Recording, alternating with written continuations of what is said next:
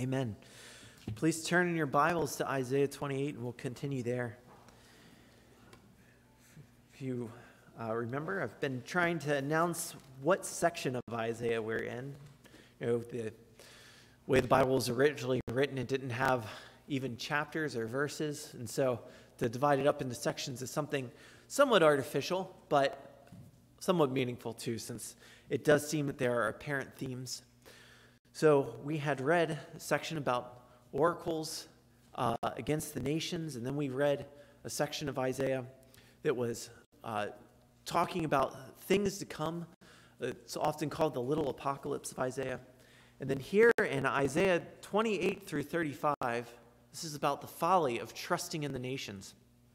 So Isaiah is particularly talking about the, the folly of either uh, Ephraim, the northern kingdom of Israel, or Judah, the southern kingdom of Israel, trusting in foreign allies, but in general, just of trusting world powers at all. Now, uh, this particular section in Isaiah 28, uh, 28 14 through, uh, through 22, I'd considered breaking up into two sections because there's a lot in here. However, this unit stands together as a whole. If you notice, verse 14 starts with speaking of you scoffers. And then verse 22, now therefore do not scoff. Uh, 15 says, We have made a covenant with death. And then uh, in verse 18, it says, Then this covenant will be annulled. So this, this section stands together as a whole, and I didn't want to break it up, but there is a lot here to look at. Uh, so let me go ahead and read this, and then we'll pray. Please stand for the reading of God's word when you have Isaiah 28, beginning with verse 14. Therefore, hear the word of the Lord, you scoffers, you who rule this people in Jerusalem, because you have said, We have made a covenant with death, and with Sheol we have an agreement. When the overwhelming whip passes through, it will not come to us. For we have made lies our refuge, and in falsehood we have taken shelter. Therefore, thus says the Lord God Behold, I am one who has laid as a foundation in Zion a stone, a tested stone, a precious cornerstone of a sure foundation. Whoever believes will not be in haste. And I will make justice the plumb line, excuse me, the line, and righteousness the plumb line, and hail will sweep away the refuge of lies, and waters will overwhelm the shelter. Then your covenant with death will be annulled, and your agreement with Sheol will not stand. When the overwhelming scourge passes through, you will be beaten down by it. As often as it passes through, it will take you. For morning by morning, it will pass through, by day and by night. And it will be a sheer terror to understand the message. For the bed is too short to stretch oneself on, and the covering too narrow to wrap oneself in. For the Lord will rise up as on Mount Perazim, as in the valley of Gibeon, he will be roused to do his deed. Strange is his deed, and to work his work. Alien is his work. Now, therefore, do not scoff, lest your bonds be made strong. For I have heard a decree of destruction from the Lord God of hosts against the whole land. You may be seated.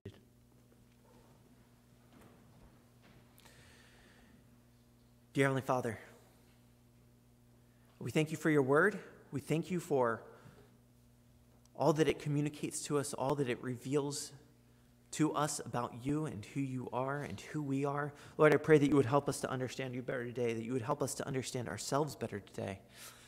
And this notion of a covenant of death, Lord, I pray that we would uh, understand it, that we might avoid such things, and that we would uh, honor you in all that we do. In Jesus' name, amen. So hopefully you've picked up with the uh, and understand a little about the context of Isaiah's time. The northern kingdom of Israel, also known as Ephraim, has made an alliance with Syria, and then the southern kingdom made an alliance with Assyria, and they battled against each other essentially, and Assyria took away the northern kingdom of Israel. And now it's at a point where, because they had done that, Assyria has turned on the southern kingdom they had made an alliance with. They've turned on Judah. And so God is instructing them once again don't turn to another nation to solve your problems. Don't turn to another nation when this, when this uh, nation of Assyria comes against you, because once again, uh, this will be a covenant with death. Once again, you will just be signing over your own death warrant. Now, there are many people uh, in the world. In fact, I'd say every single person who does not believe in Jesus Christ has made a covenant with death. They expect something else to make them right. They expect either their own uh, natural religion that teaches them that uh, their good deeds will outweigh their bad deeds and that will make it okay in the end.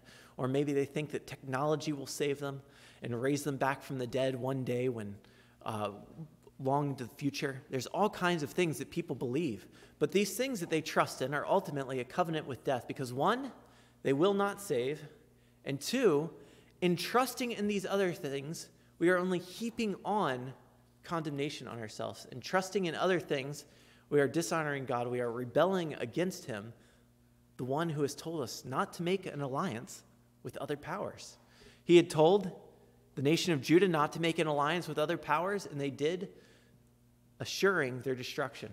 Same way many people, not trusting in the Lord, but rather trusting in themselves, trusting in their own works, trusting in something else, make a covenant with death because that thing will not save them. And on top of that, it is further rebellion against the Lord, further condemnation, further judgment. Beginning here in verse 14, therefore, hear the word of the Lord, you scoffers, who rule this people in Jerusalem. Now, these scoffers that Isaiah is speaking of are the ones that he spoke of in the previous passage. If you remember from last week, we talked about those who called Isaiah's prophecy precept upon precept, precept upon precept, line upon line, line upon line, here a little, there a little. Those who had mocked the word of the Lord as it was coming from Isaiah, those who did not value his prophecy. And these were, as it had explained in the previous passage, these were prophets and priests.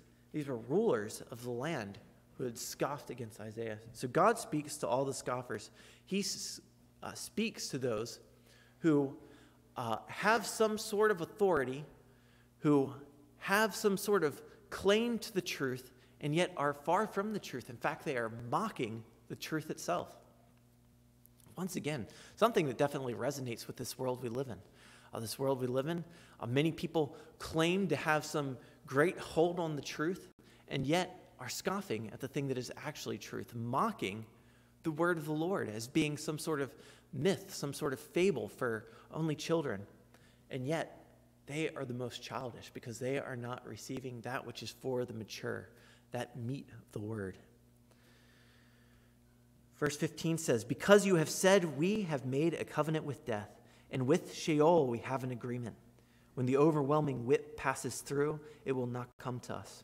For we have made lies our refuge, and in falsehood we have taken shelter. Now, this covenant with death is most likely the alliance that Judah is considering with Egypt. They were in talks with Egypt to protect the people from Assyria. Now, as I said, they had already trusted Assyria to protect them from the northern kingdom of Israel, and then Assyria turned on them. And here they're going to trust another nation again rather than the Lord. And they had uh, even begun these deals. They have made this covenant with death. With Sheol, they had made an agreement. Now, it's unlikely that these people would speak this way. They have made a covenant with death, that we've taken a refuge in lies. Clearly, this is Isaiah characterizing what they have done. They think that they've made some sure foundation. Egypt in Scripture is frequently a sign of great military strength. They have many horses, they're supposed to have uh, great strength. But later on in Isaiah, it says that they will be nothing but a broken reed. You know, if you lean on a staff, the staff will support you. If you lean on a reed, it will not. If you lean on a broken reed, it most certainly won't. Assyria, excuse me, Egypt, cannot save these people from Assyria. It is merely death.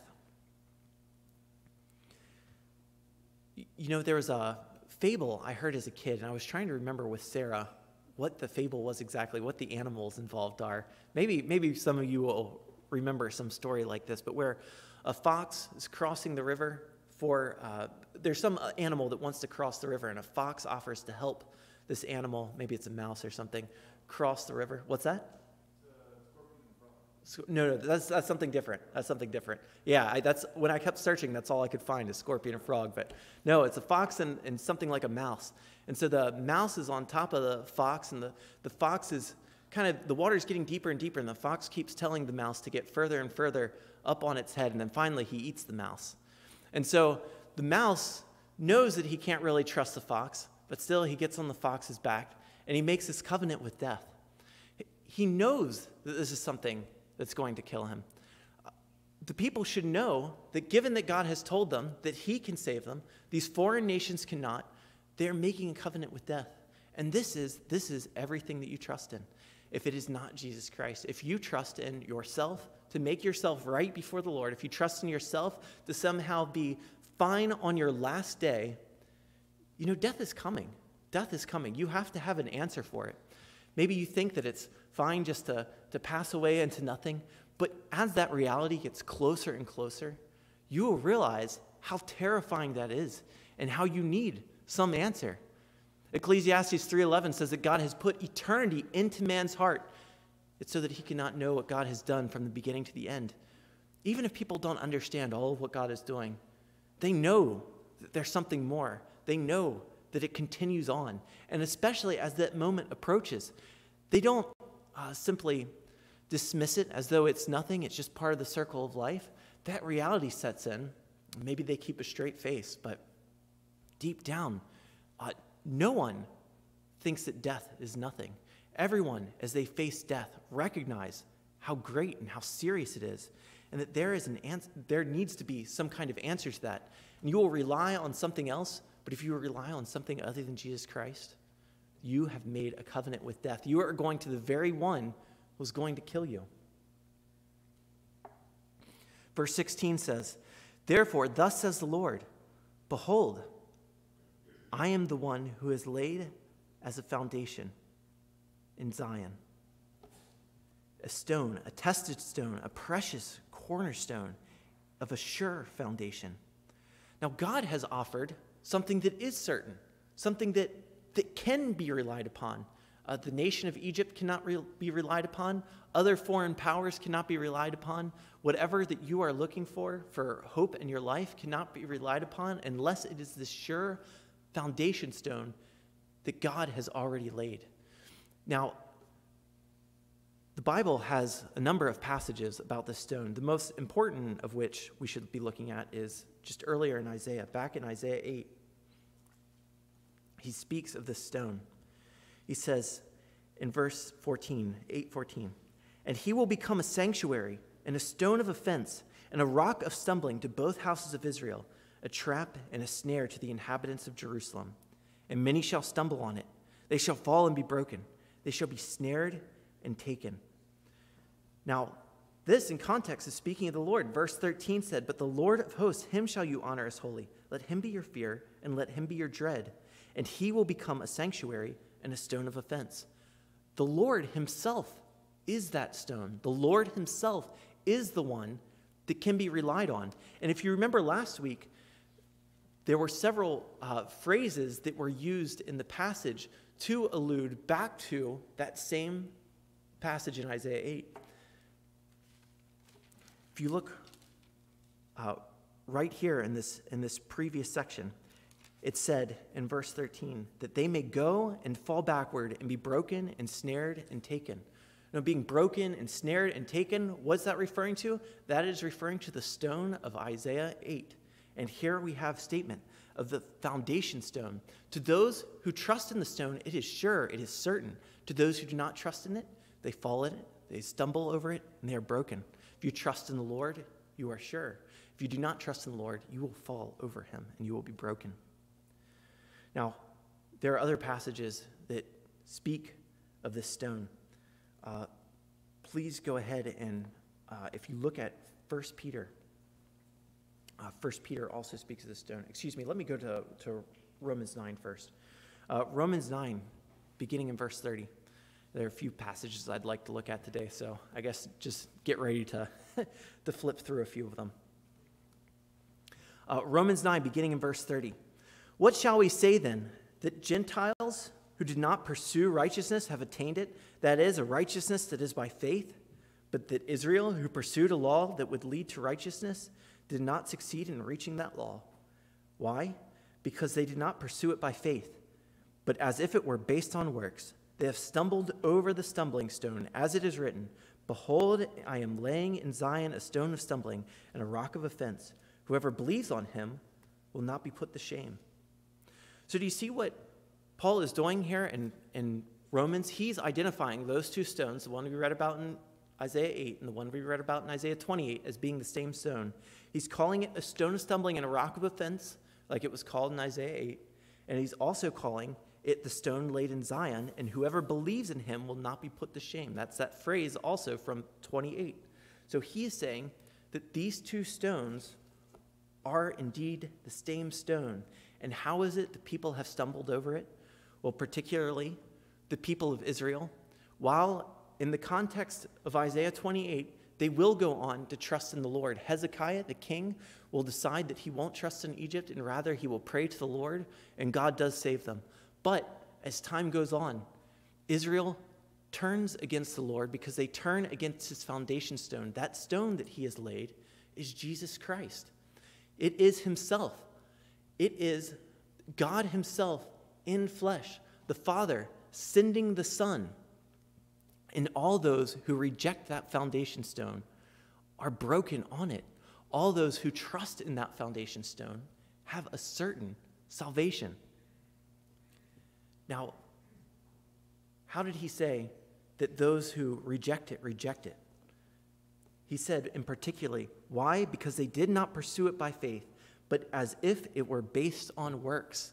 This is what people go to. Uh, all the other, all other religions can basically be summed up into this one idea that you, by something that you do, by some, by some merit, can make yourself right.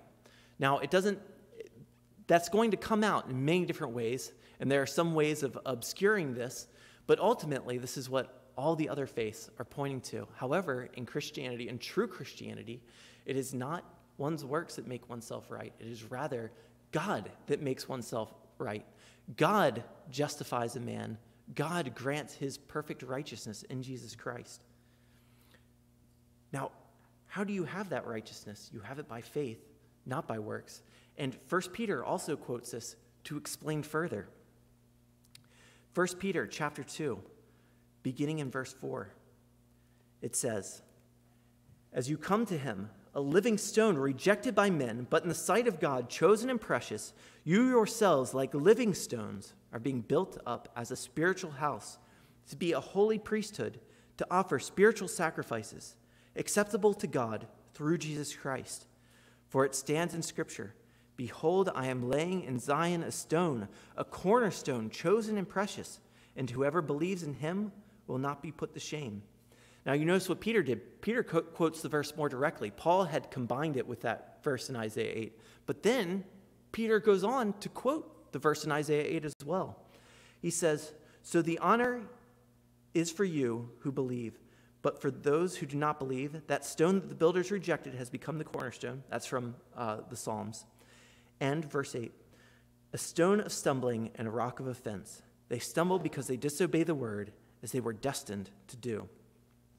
So he identifies, just like Paul, these two stones of Isaiah 8 and Isaiah 28 as being the same stone. The stone of offense is the foundation stone, it is the Lord himself. And as we discover in the New Testament, it is Jesus Christ who is sent by the Father. Now, there are more statements of judgment here in 1 Peter, speaking of stumbling over the stone. However, there is a great promise. Listen to this.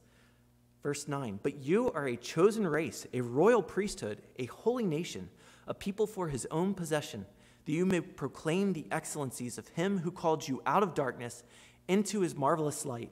Once you were not a people, but now you are God's people. Once you had not received mercy, but now you have received mercy. So, how is it? How is it that one can lay hold of that foundation stone.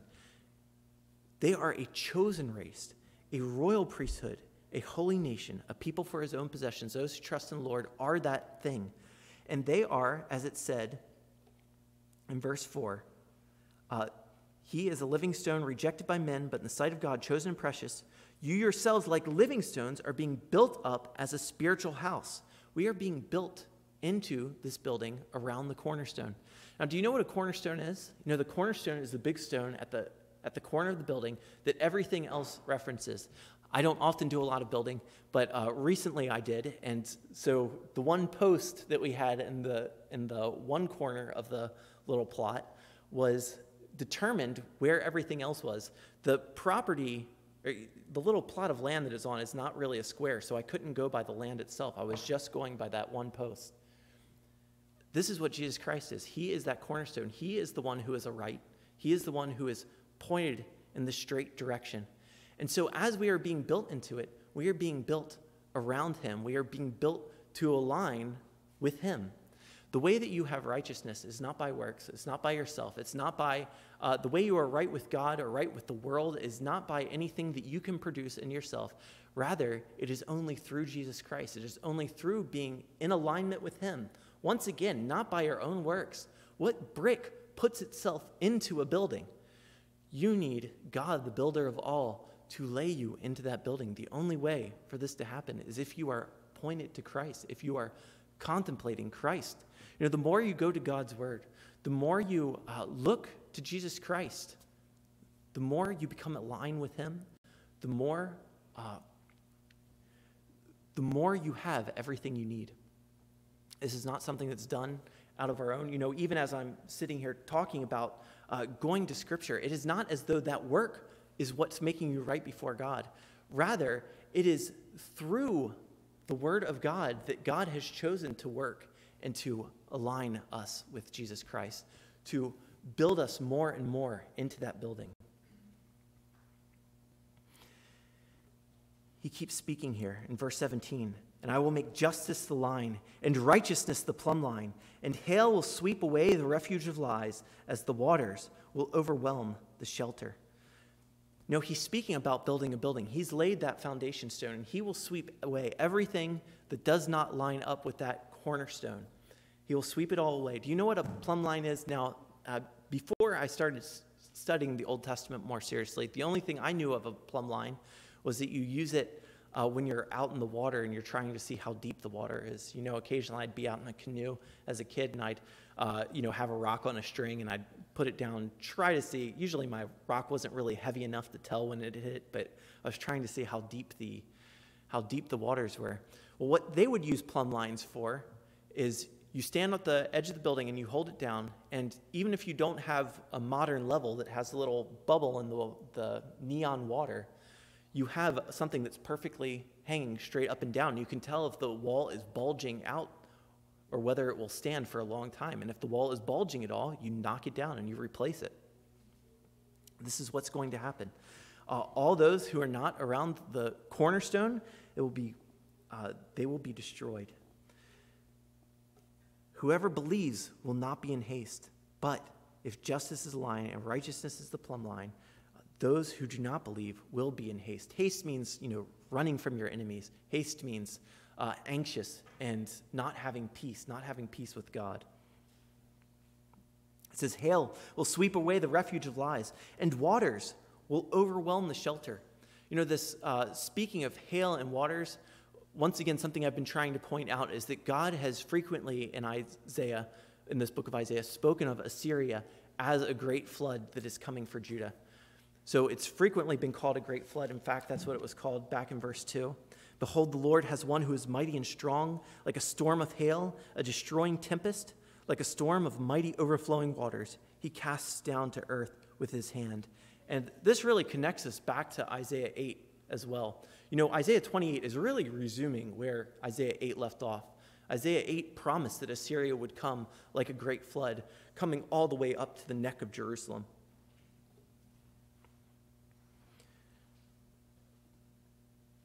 Says, Then your covenant with death will be annulled, and your agreement with Sheol will not stand. This covenant will be broken. People think that they can rely on these other nations, but they cannot. Their covenant will not stand.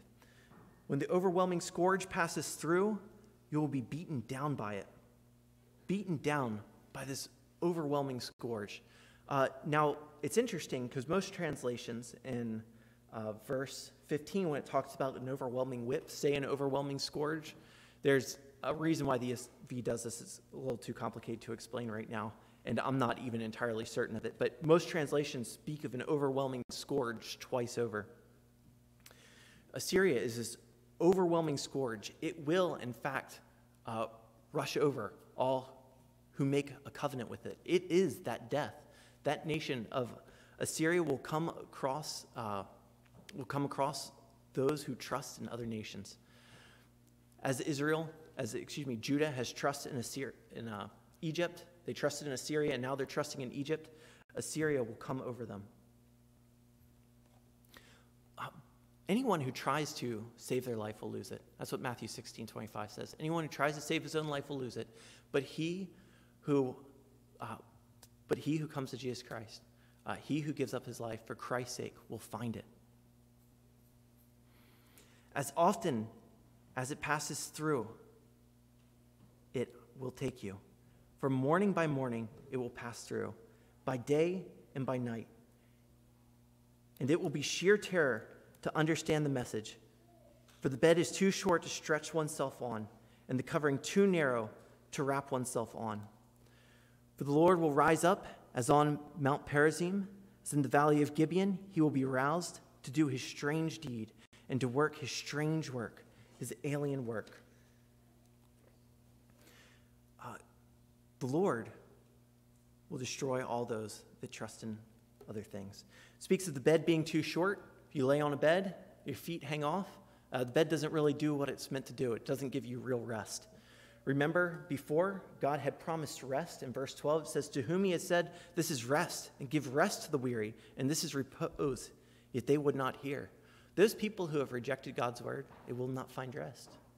Those who come to his word, those who trust in Jesus Christ, they do find rest. They have a bed that is long enough, and the covering too narrow to wrap oneself in. For the Lord will rise up as on Mount Perazim, as in the valley of Gibeon.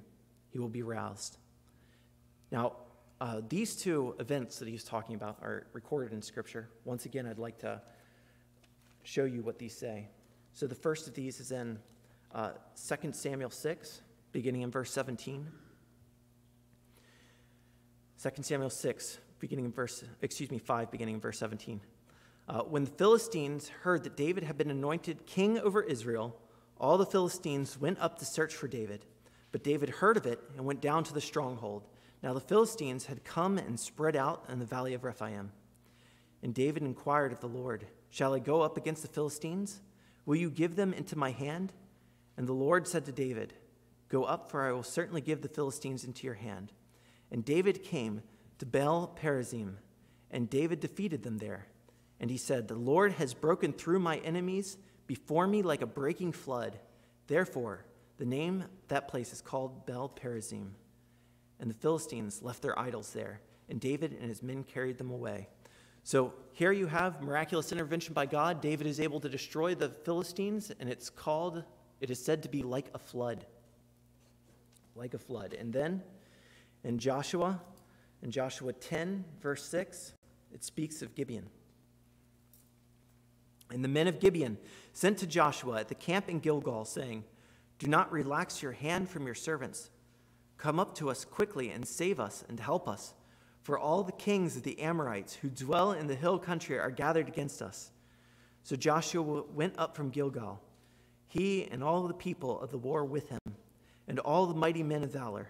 And the Lord said to Joshua, Do not fear them, for I have given them into your hands. Not a man of them shall stand before you.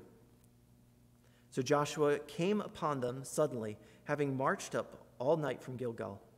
And the Lord threw them into a panic before Israel, who struck them with a great blow at Gibeon, and chased them by the way of ascent of Beth Horon, and struck them as far as Azekah and Makkedah.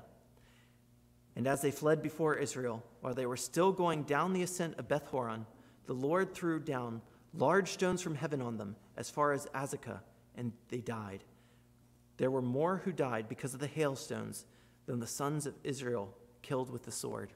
So, once again, God miraculously defeating the enemies of Israel, This time, uh, before it was called as a flood, this time it was with literal hailstones. And so when God speaks of, of flood and hail, when he compares Assyria to flood and hail, he's referencing these Old Testament events where God had done outlandish things, things that are foreign to the human mind, things that are alien to us. Uh, God is God is foreign. He is alien. He is unlike anything in this world, and therefore his judgment is great and unlike anything in this world. In verse 22 it says, "Now therefore do not scoff, lest your bonds be made strong, for I have heard a decree of destruction from the Lord of hosts against the whole land. So do not scoff, lest your bonds be made strong. On one hand, there's a great warning here. Uh, the people should not scoff at the word of the Lord. They should not reject the word of the Lord, or else they will be punished. Now, on the other hand, there's hope embedded in this verse. Not only have we seen about this cornerstone, that it promises a salvation for those who would trust in the Lord, but he says, Lest your bonds be made strong. There's an indication that the bonds can be loosened. There's an indication that God is merciful. And indeed, he is merciful. As the people turn to him, uh, he will free them ultimately from this offense, from this uh, Assyria that is coming over them like a flood. Yes, the people will be, uh, many will be captured. Yes, many will be destroyed. However, Jerusalem itself will end up being spared as King Hezekiah leads the people to trust in the Lord rather than to trust in the nation of Egypt.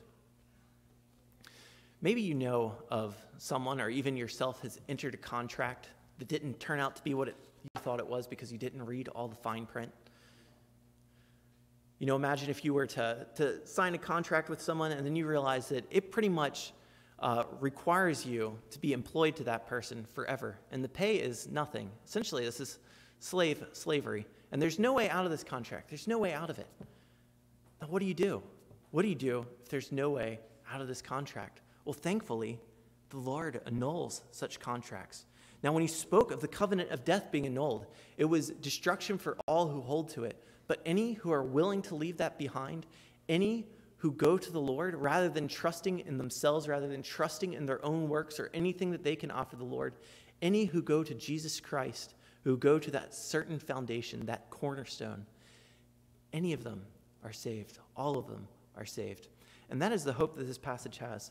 This passage has a great warning for all who would trust in themselves, who would all who would trust in the nations of the world, for all who would trust in uh, powers. You know, Brian mentioned earlier, election season's coming up. You know, don't trust.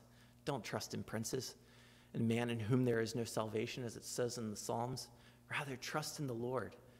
And the Lord, uh, God Almighty, the Father, has sent his Son to be that foundation stone that we can trust in and find a perfect salvation. Let's pray. Dear Heavenly Father, we thank you for your Son. We thank you that he is a perfect refuge. And Lord, uh, there are many refuges of lies. Pray that we would flee from all these and we would flee only to your Son. In his name we pray. Amen.